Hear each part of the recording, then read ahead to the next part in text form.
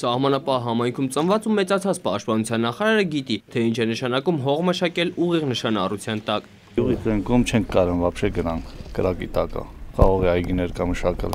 ոչ մի բան չենք կարող անել։ Վիգեն Սարգսյանի առաջին այցը Տավուշ ընդգրկեց նաև հայրենի դովեղը, որտեղ համագյուղացիները նրան դիմավորեցին հարազատի պես։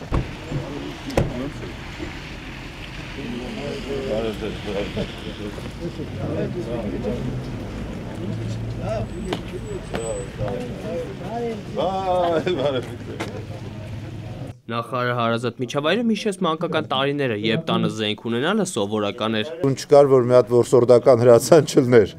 Հիմա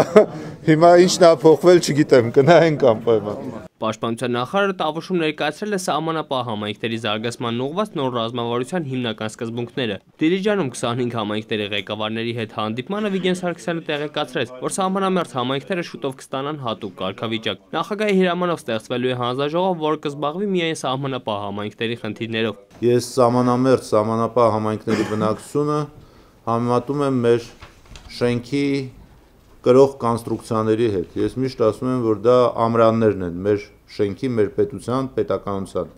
Համայնքապետերի հետ քննարկումն անցավ փակ դռների հետևում։ Կողբ համայնքի ղեկավարը բարձրացրել է ճանապարհների հարցը, որը հրատապ է ոչ միայն իրենց գյուղում։ Նա հույս ունի, որ սահմանամերձ համայնքների խնդիրներով զբաղվող նոր հանձնաժողովը կօգնի ավելի արագ լուծել խնդիրները։ Կարևորում եմ հանձնաժողովի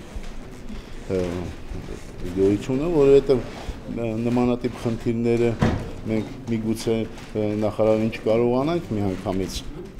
հասցնել, բայց տեղում հանձնաժողովների հետ կարող ենք քննարկել եւ մեր ձայնը ավելի արագ կհասնի նախարարին։ Սահմանամերձ համայնքների զարգացման ուղղություններից մեկն էլ ռազմական կրթությունն է։ Դիլիջանի Թումոյում Վիգեն Սարգսյանը կարևորեց Մոնթե Մելքոնյան վարժարանը Դիլիջանի նախկին ՊԵԿ ուսումնական կենտրոնի շենք տեղափոխելը։ Նախարարի նպատակն է ռազմական կրթությունը դարձնել բրենդ եւ ստեղծել գերազանցության կենտրոն, որտեղ աշակերտները կստանան անվճար, բարձրորակ եւ ժամանակակից մասնագիտական կրթություն։ Բացվելու է Հայաստանի ամենա լավ, ամենամրցունակ, ամենագրավիչ ավակ դպրոցը ինքը ունենալու է ամենալավ պայմանները եւ մարզական եւ կենցաղային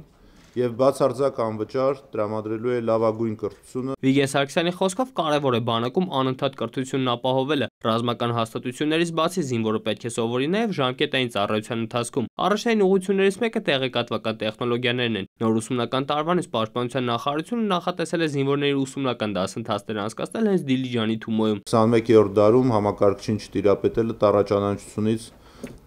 չտարբերվող մի բան է, հետեւաբար պետք է այնպես անենք, որ ամեն զորացրվող զինվոր կարողանա նաև այդ ունակությունները, հմտությունները ունենա։ Պաշտպանության նախարարը Տավուշում այցելեց նաև 2016-ին լավագույնը ճանաչված Զորամաս։ Մասնագիտությամբ լրագրող Նորակոչիկը դեռ 20 օր է անցել ծառայության, բայց նախարարի մոտ ելույթ ունենալու պատասխանատու գործը հենց նրան էին վստահել։ Որտեղ հպարտությամբ են ծառայում բոլոր ծառայողները։